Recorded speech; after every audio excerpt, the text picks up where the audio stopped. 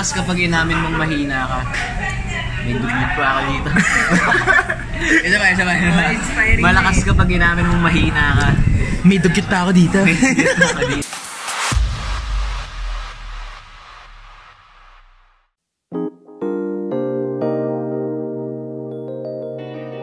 Hey, what's up? It's been four years and we're right here in Frankie's Yeka. Back to our roots, first episode, but now with Chino Pineda.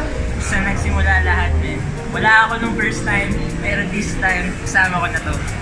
Ngayon pa, sisibog tayo ng solid dito sa Frankie's. Alam niyo yan, you know what's up, you know what's up. Let's walk in ka! Kaya, pasok tayo.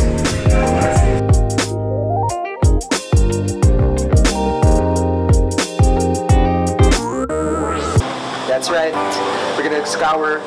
Scour? Is that even a word? I don't know. That ain't enough, bro. We need three peppers, maybe even four or five. Who knows how much peppers there actually is?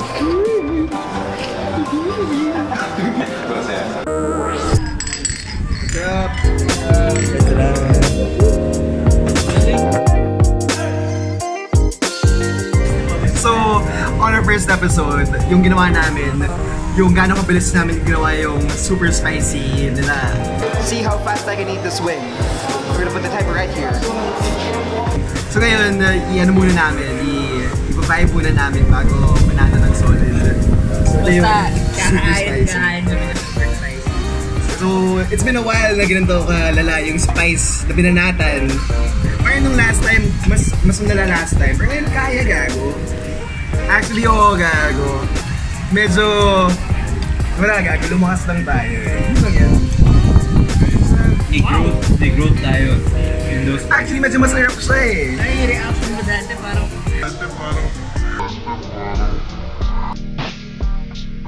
masarap siya. As in, hindi siya yung ahang na wala ka nang malalasahan dahil nahihimi na yung dila mo. Masarap siya na parang, hmm, konting tulak lang sa dila. Hindi, Kahit kiliti lang, ginagana lang niya yung dila. Hindi year in 4 years, ang galing na mag-review ni Sina gago. Ay, literal hard laban lang eh. Kasi di talaga siya, sobrang nanatili lang yung anghang. Tapos nandiyan lang, chill lang talaga pa eh. Sobrang sarap, isabay sa kain, isabay sa beer. Dahil yun yung bakit Frankie's is king pa rin. We're doing good, Nari gago. ng manok. A few moments later. Medyo nagigena pala ako. Ah, kanina masarap, ngayon nakakagena. Pero okay lang, may beer pa rin pero dahil medyo wild na yung pawis. Na.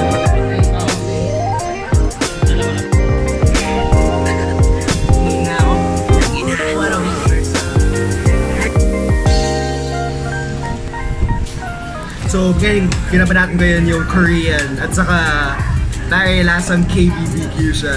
Yung paste talaga doon. Pero bakit lasang lasa pa eh. Pagka naka-KBBQ ka, nakaganito ka, ilagay mo lang yung sauce dito sa wing. Saktong-sakto pa eh. Malasa siya, may, may saktong spicy, hindi siya overwhelming, medyo suwabe. Sabay mo ng kanin, good vibes and good vibes. Ikaw ba yung salted egg mo? Ikaw ba yung salted egg mo? Ikaw ba?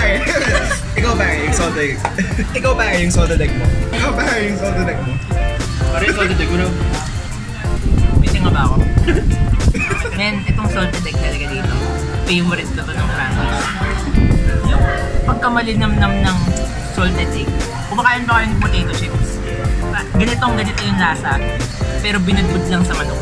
May medyo maanghang na itlog na maalat na hindi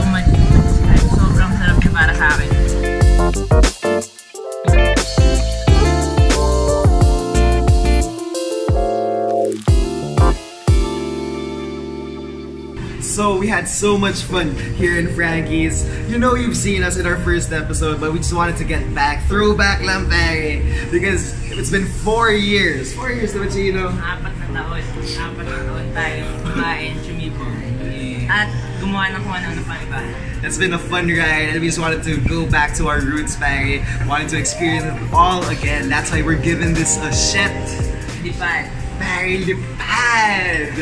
You know, that, that, that's where we at. That's where we're feeling. We just wanted to breeze through, fly Napalipad through. kami ng pakpak na yun. Ganun kasarap yung wings. Masarap talaga pare, run through, gago yung uh, Korean.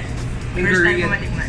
Yung Korean, but all of our hometown favorites pare. Oh, garlic parmesan, ikaw Salted pare. egg all we all have our favorites. This is Frankie's, pare. You know what Frankie's is, and we love it, pare. That's why we're flying, pare. We feel so fly, we feel so good, freaking vibes, pare.